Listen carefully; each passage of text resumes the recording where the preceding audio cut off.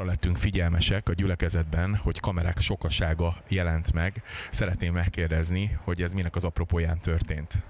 Mi most a Magyar Televízió Sokszínű Vallás című műsorához készítünk egy kis tudósítást a Budapesti Autonóm Gyülekezet mai alkalmáról, illetve majd arról beszélnek a lelkészek, remélem majd az interjúkban, hogy hogyan is telt az elmúlt esztendő, hiszen lassan itt van az új esztendő, a szolgálatokat hogyan látták el lelkiségében, hogyan is nőtt, növekedette a gyülekezet, és hát természetesen a jövőben reményeikről is majd faggatjuk a gyülekezet vezetőit. A Sokszínű Vallás című műsor múlt éve hogyan telt, hadd kérdezzem meg. Az elmúlt év, ami mögöttünk volt, hát küzdelmes egy kicsit. Muszáj megemlíteni az egyházügyi törvényt, ami nagyon-nagyon sok kis egyház életére azt gondolom komoly hatással lesz. Egyelőre bízunk abban, hogy hogy a műsor marad, de ezt erre egy határozott választ még nem kaptunk.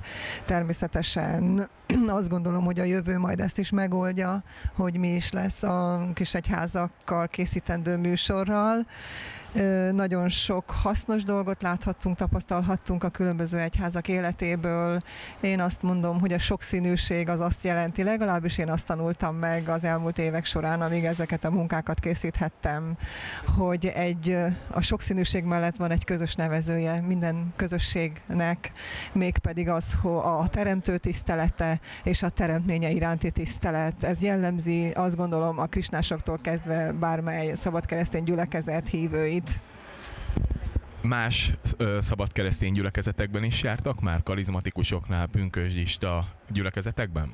Természetesen fölkerestük mi a Budapesti Autonóm Gyülekezeten túl a pünkösdi gyülekezeteket, pünkösdi gyülekezet különböző felekezeteit, illetve hát vidéki gyülekezeteit is. Azon túl, hát nem csak a keresztény gyülekezeteknél jártunk, jártunk a buddhistáknál is, ott is sok-sok közösség van, a, a krisnásokat is említhetem, velük is találkoztunk elég gyakran, és a szabad keresztény gyülekezetekből nagyon-nagyon sok gyülekezettel. A Sokszínű Vallás című műsor az MTV saját produkciója, ha jól tudom, meg fog maradni a jövőben? Nem tudok most erre válaszolni. Reményeim szerint igen, de ezt majd a jövő dönti el. Köszönöm szépen a beszélgetést.